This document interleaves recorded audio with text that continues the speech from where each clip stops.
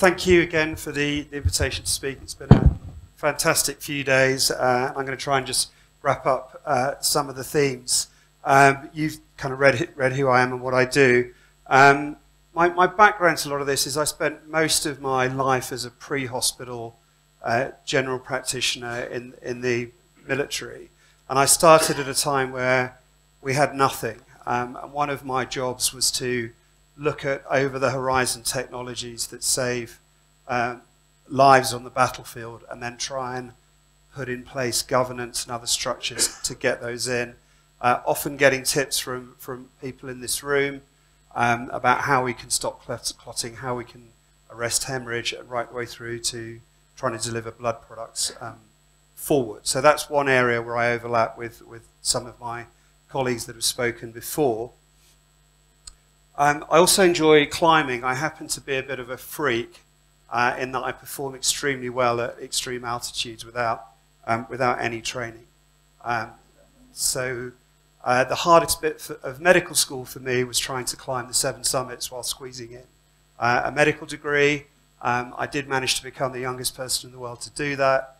The current record holder was sort of less than half the age I was when I did it. Um, but I found that, uh, that was that was really interesting, and the physiology that I was learning in medical school didn't work for me. It was all based around 70 kilogram male at altitude, and as, got, as I got further involved in medicine, I started to look for parallels between the perturbances in your physiology that we experience at extreme altitude and any lessons we can take back uh, into people who are critically ill.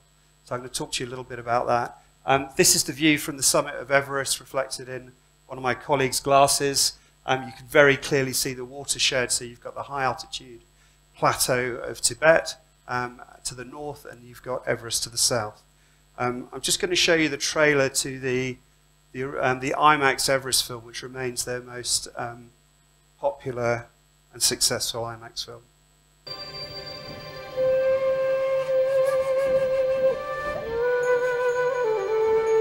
There is a place that is above all others, a place where dreams are chased above the clouds, a place where only the strong and lucky survive.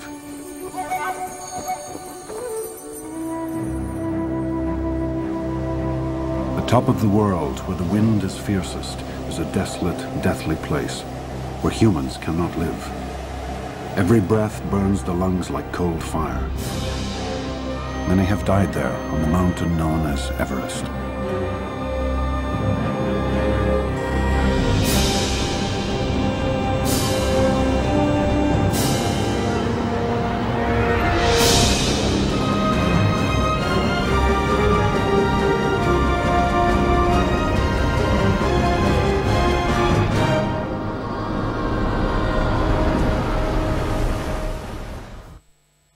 Sure what happened with the the sound there, but ended with a, an avalanche for, for Herman. Um, why, why would anybody want to go and climb Everest? Well, of course, Mallory gave the best answer, and it was actually on this series of an, been repeatedly asked about why would someone would try and do something that was, that was so ridiculously risky. Um, I've got a slightly different attitude to risk. Um, half of us in this room are going to get cancer. Um, probably about one in five of us are going to end up on intensive care. I was quite lucky that as part of my training to be a GP in the military, I managed to wangle some time working uh, in intensive care. Um, and it was fantastic. We were trying to uh, look after people that were very severely sick. Uh, and I happened to be there with colleagues like Mike Grocott and Kevin Fong. And we noticed some similarities. And we thought, how can we exploit this? Um, what we wanted to do was to compare this person with, uh, with this person, um, but for reasons you'll understand, trying to do um, trials in intensive care on clones of critically ill patients who are there for different uh, pathophysiological reasons is extremely difficult. Um, what they did have in common, however, that they were all hypoxic. So we wanted to take 200 healthy volunteers, make them hypoxic by taking them up Everest, um, and we struggled a bit with the funding for that until we solved the problem by getting them to pay to be our guinea pigs. Uh, and, and, it, and it actually worked. We needed £2 million. We got some funding from traditional um, medical um, funding bodies, but they weren't going to pay for rope and oxygen and everything. But these guys paid us a lot of money to be, to be tortured, which was, which was brilliant. Um, so that, that's what we did. We took people up there. Most of the work was done by the, the trekkers who arrived at, um, uh, at base camp, but I'm actually going to concentrate on, on some of the studies we did higher up the mountain because that's where you see um, some of the extreme um, results. We did a whole battery of tests. The, um, probably the most reproducible one was doing cardiopulmonary exercise testing. The worst iteration of this, we had a gastric tonometer. We had both radial arteries cannulated.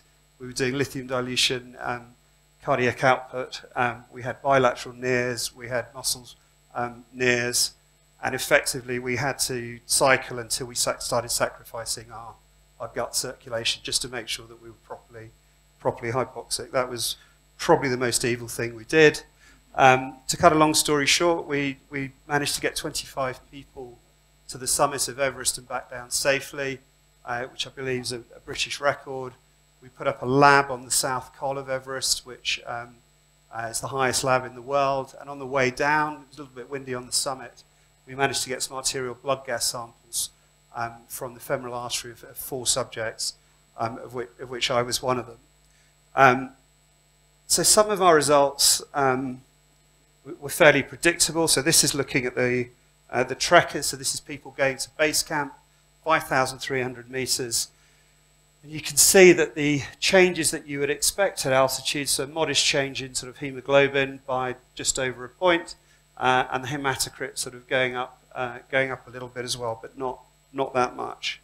Um, and if you look at uh, the extreme team, so this was the group of climbers that stayed on the mountain for 75 days. You can see that the hemoglobin's gone up to near 19, and some of the summit climbers had hemoglobins of about 20.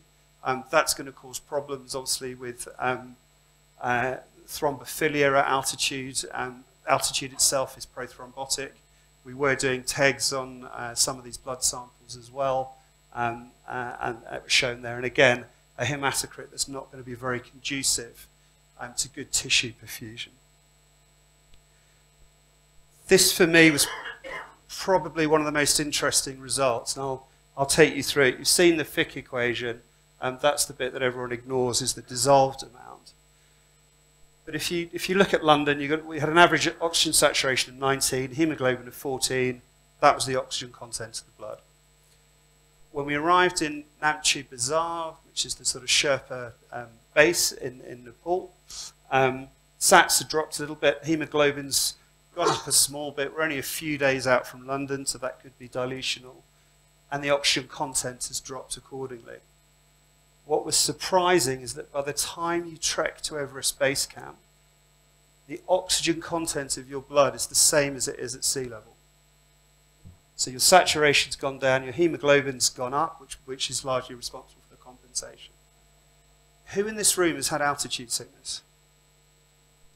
Okay, so if you think back to it, it's not like being decompressed from an aircraft. Most of the cases of altitude sickness that I've seen happen some hours after you get there. Yet when you look at the, the literature and the teaching on altitude illness, it says it's hypoxia. That's the sole reason for it.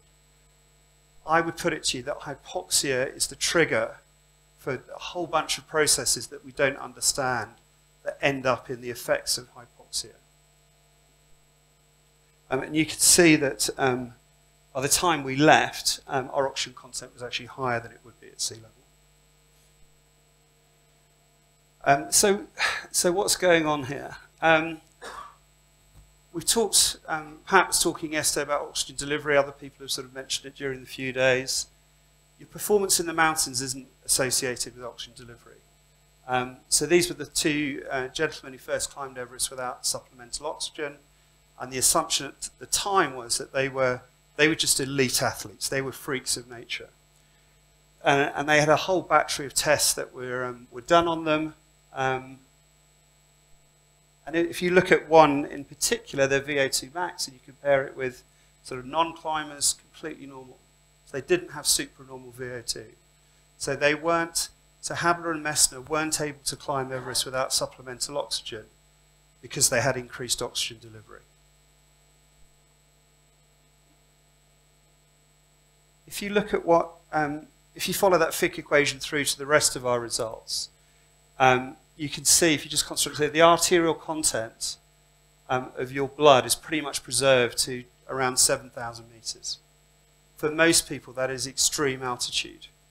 Um, most people would not enjoy going to 7,000 meters, yet there's no physiological reason based on oxygen content that they can't do that. So something else is going on. And the interest that we had from that is if that's happening in the mountains, what's happening in our patients who are on 15 litres of, of supplemental oxygen, who have peripheral oxygen saturations in their 90s, and have fantastic oxygen content, but they're still critically ill and they're still dying. The caveat for the rest of the talk is it's, it's just my punt at what I think might be going on.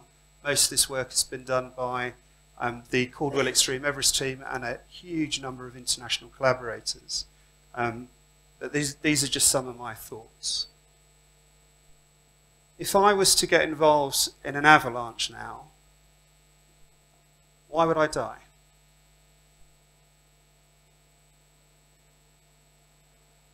Why would I die in an avalanche? Why would I die if I got hit by Richard's car?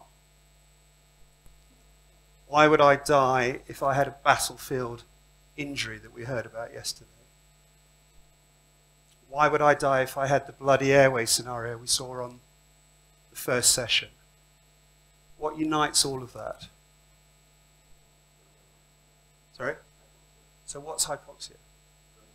At the brain level, anyone else? Which bit of your body uses oxygen? Mitochondria. And we don't have any tools to investigate mitochondria. And everything that we're doing, you know, with, with great intent is we're measuring things at the macro level and making assumptions about what's happening at the cellular level. So, um, this is me sitting, sitting around uh, on Everest. I've got an oxygen saturation of 56. I'm perfectly happy. My heart rate's 108, which is probably what it is right, right now. Um, you're all familiar with this, but the point I'm trying to make is that we stop measuring what's going on here, and this is the business end of the oxygen cascade. And I think we need to know more about this, and I'm just going to take you through some of the things that we found and some potential areas for, for future research. Um, for me, this was a bit of a sort of William Harvey moment of, of my generation. He managed to see blood flowing in vivo. We used side stream dark field microscopy to image um, individual capillaries uh, sublingually. Each of these black dots is an erythrocyte passing through a capillary in the microcirculation.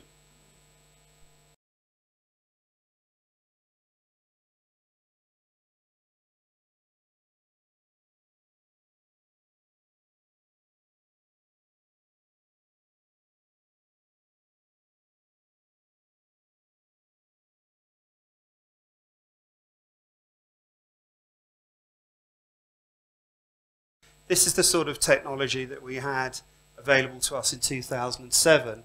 And at sea level, you'd see quite good flow.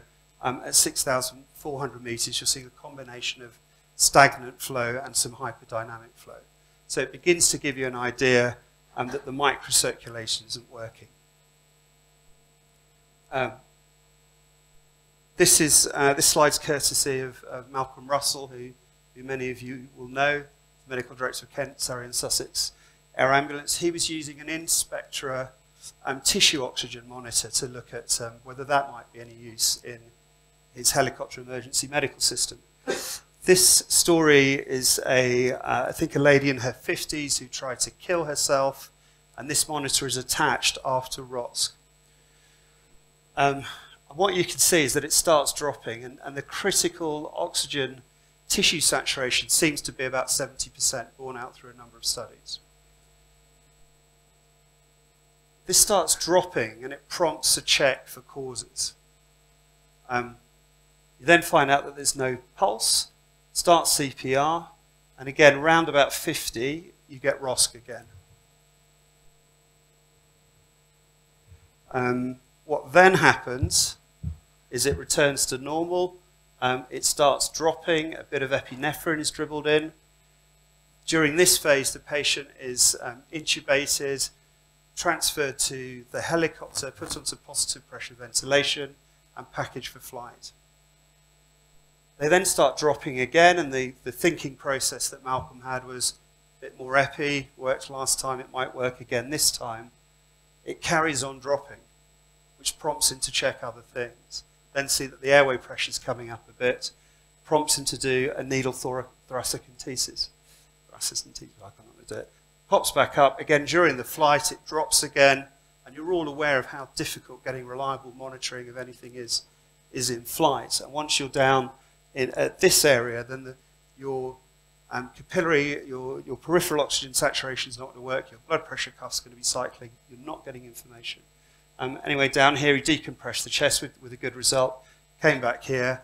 Um, when it dropped again, he just checked the chest and put two fingers, two glove fingers into the, uh, the thoracostomy So it was an adjunct. Other, other services have looked at this, um, didn't really find that it helped. Um, and that's not really the point of what I'm going to talk about. I'm not going to talk to you about a particular piece of kit. I'm just trying to talk to you about principles that I think would be useful to consider sort of going forward. Um, this uh, was a study published in 2009, so around about the same time that Malcolm was doing his work. Um, it's actually a study from 2005, the Combat Support Hospital in Tikrit. Um, so they, they put it on, they only got good data on, on about eight patients. Um, and I've picked, I've picked a couple of them. Um, in red, you've got the systolic blood pressure. Um, in green, you've got the heart rate. And in blue, you've got the tissue oxygen saturation. Um, on the bottom, you have time, heart rate here, SBP there. And here are the interventions. So they were using it to, to see if it could triage whether somebody was going to need critical interventions. And as we heard from Phil Spinella's talk yesterday, when you're in a resource poor field hospital, then being able to anticipate what you're likely to be able to deal with might make the decision between actually we can't cope with this, we've just had two of those in, overfly us to somewhere else if you have that luxury. Probably not in, in Tikrit. Um, and, and what you can what you can see is that the um, the systolic blood pressure does what it does. The interventions are go to the OR, go to ICU, get some uh, fluid resuscitation, including blood products. But to me, the tissue saturation more accurately reflects the changes in heart rate that represent the physiological response to either something getting worse or getting better. Um, I think particularly, particularly if you look up here, um, once they sort of open the abdomen and get control, um, you know, you can see that changing sort of quite significantly. Tissue oxygenation shoots up, heart rate returns to normal. They've got control. The blood pressure didn't really change that much at that time. It went up, so not really, not really helping you uh, as much. Um, this is just um, another case of somebody who, again, had one, had some packed red cells, goes into ICU, and again, it's the reflection. So it mirrors, um, it mirrors blood pressure quite well, but I think more importantly, reflects heart rate. Um, this was uh, this was a study in Pittsburgh um, where they were uh, they did it over nine months, looking at about 150 uh, patients, I believe. And again, they used it to predict whether someone would go on to need a life-saving intervention. So again, potentially um, a triage tool for, for pre-hospital EMS. Um, with their, this is their sort of ROC curve, and as we heard yesterday, we're on the right side of the line. So possibly some predictive value from using um, this sort of system. Um, if you look at what their predictors were, they found a number of them. They looked at sort of the lowest systolic, um, the desaturation of, of O2 and, uh, and, GCS, and the p, the p values aren't, aren't, aren't too bad. Um, the newest iteration uh, of, of, these sort of technologies is something uh, called the cytocam. Um, it's been used to uh, look at patients in real time while they're sort of having ECMO to try and predict what's going on. Um, so in this study, you can read it for yourselves, but they looked at 24 people, 15 survived, 9 died. These are the videos that need to work. This is a survivor. Um, I, it's not projecting brilliantly. If anybody wants to see it afterwards, I'm happy to show it to them. But you can see a nice dynamic blood flow. That's someone who didn't make it. And you can hopefully see the sludging here. So the microcirculation's not working. The microcirculation's not working, then all those red blood cells carrying 100% oxygen are just going around in circles, they're not getting to the mitochondria. Um, there are some trials going on where we're trying to, people are trying to look at, well, actually, what are the parameters that might make any sense here? coming back to, um, to our study on Everest, um, you can see uh, this is our VO2 max dropping, and it actually drops fairly proportionally to the inspired partial pressure of oxygen. Um, so in, in simple terms, at Everest Base Camp, your VO2 max is half that at sea level, uh, and on the summit it's about a third. So it's not, not quite a linear uh, relationship, and that reflects what happens with, with barometric pressure. Um, you've seen this, I'm just going to talk you through uh, the gases. That's just to remind you that up to 7,000 metres oxygen content is preserved. Um, this is quite fun. These, these are some gases that we did on each other. Um, you've got PO2 on the bottom and PCO2 here, and you can, I'll just take you through it. This is sea level.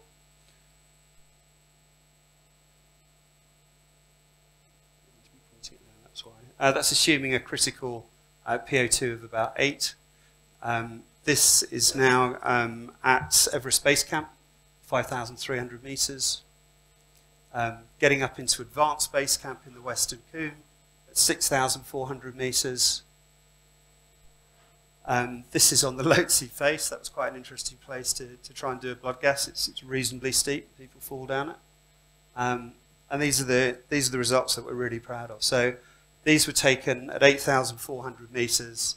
We had PO2s of between 2.2 uh, and sort of 4.4.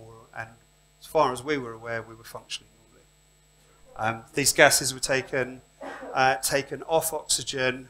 There's video of us um, uh, doing the intervention, taking a separate antecubital venous sample so that we wouldn't be accused of uh, making a venous stab and relaying the results down to, um, uh, to the lab. Uh, just a quick aside on performance. It took us two days to get down from, from this place. Um, we'd practiced putting these samples in a, in a flask with a nice slurry, and we were reasonably happy with the machine that we had, that we had about six hours before this, we lost the validity of the sample. So we gave it to our best Sherpa and said, you need to get this down to Camp 2. He did it in two hours, having stopped for a cup of tea. So if anyone ever tells you they climbed Everest, unless they did it by themselves, they're lying. They, they, the Sherpas did all the work and they crawled up behind them and took some hero pictures at the top. They are, they are phenomenal and, and uh, absolutely fantastic companions. So this is the next bit of the story. This is the story of our evolution over four and a half billion years.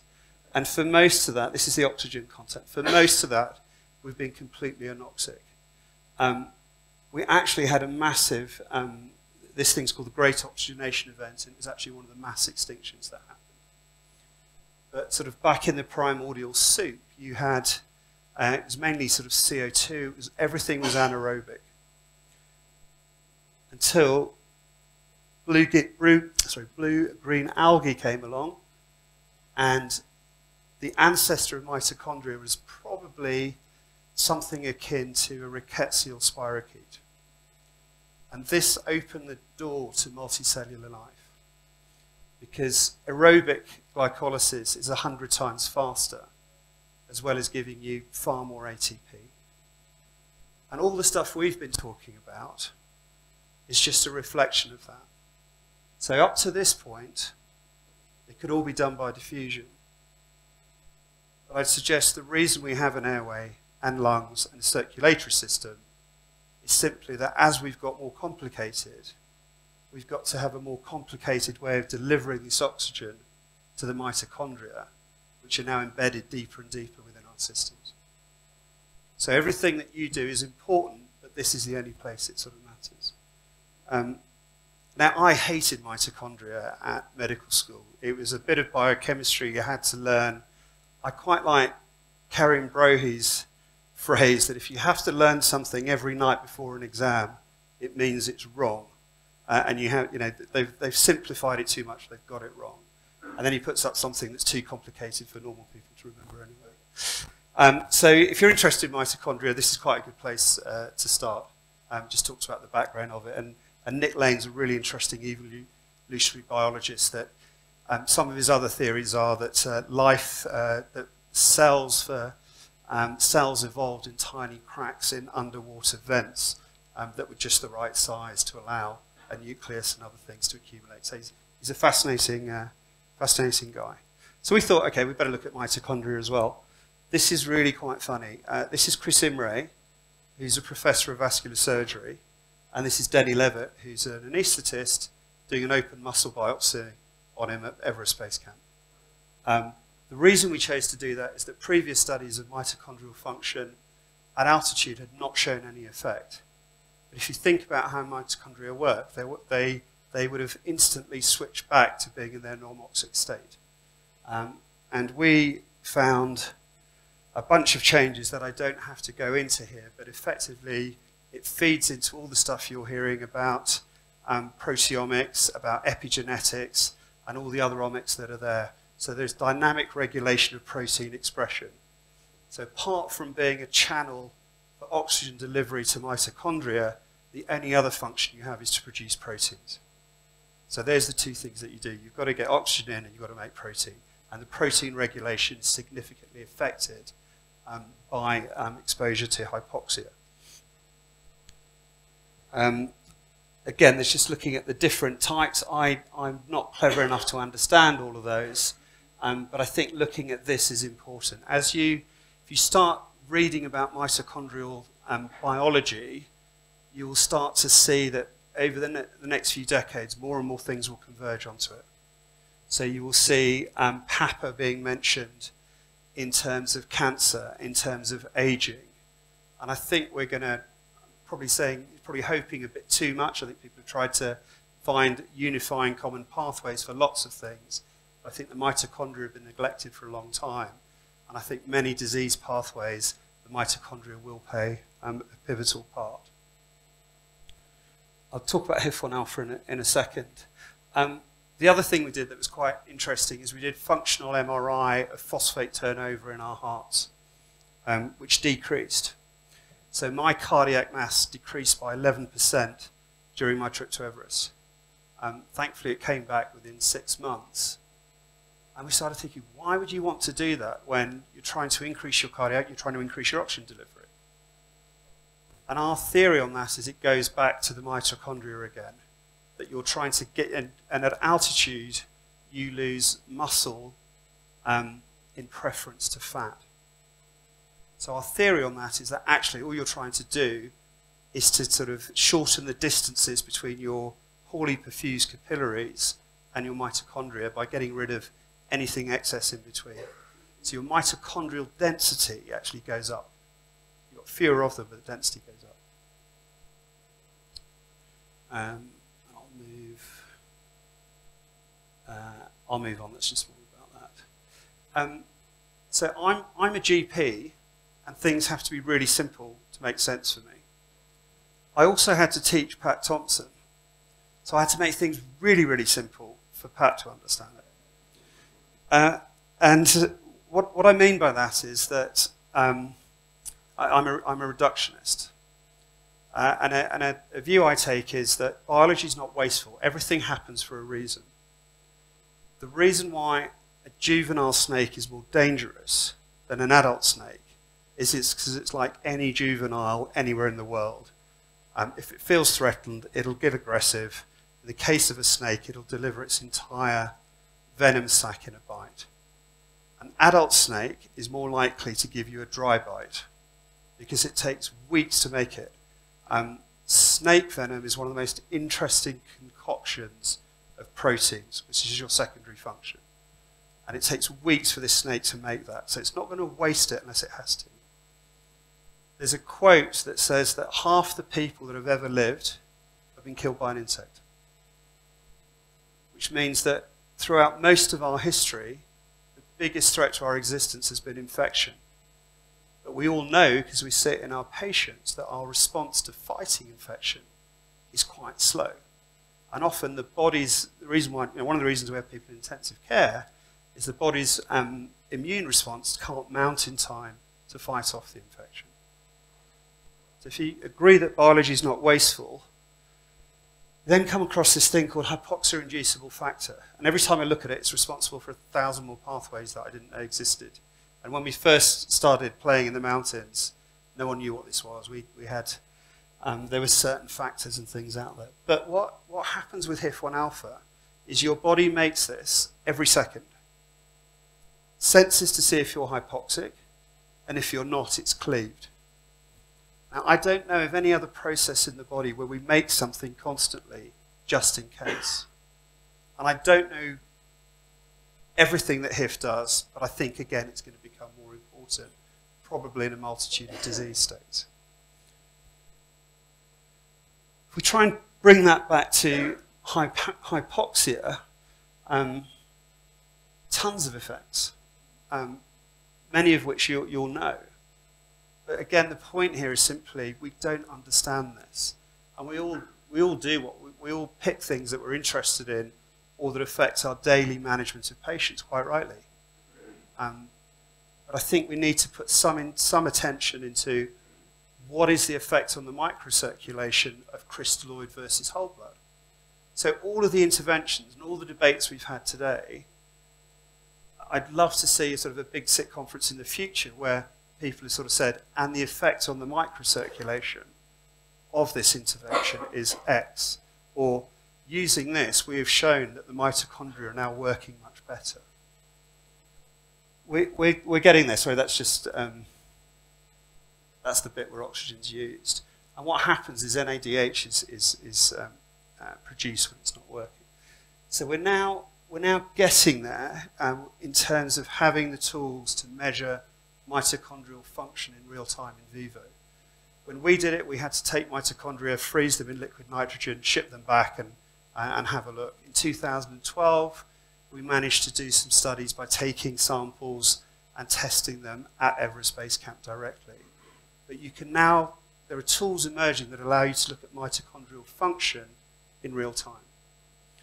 Um, and uh, here they were doing it on, on pigs, and they were basically saying um, that it was more effective than tissue oxygen saturation. So tissue, if I'd been speaking to you five years ago, I'd have been saying we should really have a look at tissue oxygen saturation. Now I'm saying we can really have a look at this. And in five years' time, someone will be saying, yeah, that was all old hat. We should be looking at something else. So I reiterate, I don't have the answers. I just want to challenge you.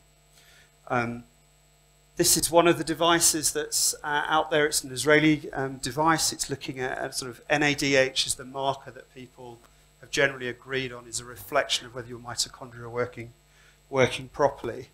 Um, and, and, what you've got here is you've got someone who's, who's normoxic. They then put them onto 6% oxygen, and you see this rise in NADH. Um, and again, then they switch them back. A simpler way of trying to look at that is trying to work out, and, I, am not going to go into redox states, there are, there are very clever people who can tell you about that, but it's not me. Um, but essentially, if your NADH is very high, that's not good. If it's low, it's better. Um, there's been some work, this was published, I think, last year, um, doing this in sort of uh, real time, trying to predict whether someone's going to have a cardiac arrest. Excuse me. So uh, again, this was done on a pig, and they were trying to work out what's happening. They were applying for FDA approval to see if it'll get through. I think human studies um, for this technique is still some time away. Um, sorry, I'm flipping around a bit. Um, but this goes back to, so another thing. So I lost 22 kilos on Everest, which was great. Uh, and I probably need to go back. Um, Dan also summited Everest. I, I go to Everest by not training, getting drunk every night on the way there, complaining about the increase of beer prices with altitude, which is linear. Um, Dan arrives, puts his head in his sleeping bag, and you can't see him for three days, and you think he's not going to make it. Six weeks later, we're both comfortably working on the summit of Everest. So the other big message here is that when we look at our patients, and Richard touched on this earlier, phenotype doesn't equal genotype. So you can't make assumptions about what's happening inside someone's body or what's happening at their cellular level.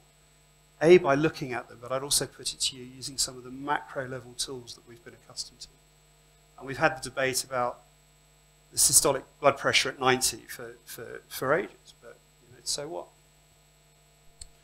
Um, and, and the weight loss, um, the weight loss here again, I think is the same thing that I was saying with the, the heart, that it's about trying to get the mitochondria closer together. There was a point that was made, I think it was yesterday by the Thor group, that one of the drivers for what we do is somebody's sick, you have to do something. This is a study of, uh, so it's a survival curve in ICU. These are the people we do something to, and these are the people we leave alone and let their bodies sort it out. So you support them rather than intervene. I'm, I'm going to finish now. So I don't know the answers to any of this. I'm just, I'm just teasing a little bit. Um, but I'm going to give you my own reflection on why, why we climb mountains that I do have an idea of. This is the summit shadow of uh, the peak of Everest being cast out hundreds of miles onto the horizon. You've been climbing for hours at night. You don't know if you're really going to make it. Suddenly you see this. You believe the Earth's going to curve, the Earth does curve, and you might just get up and down safely. The other quote that Mallory had was far less well known, but I think far more poignant. And I'm going to end by letting you read that.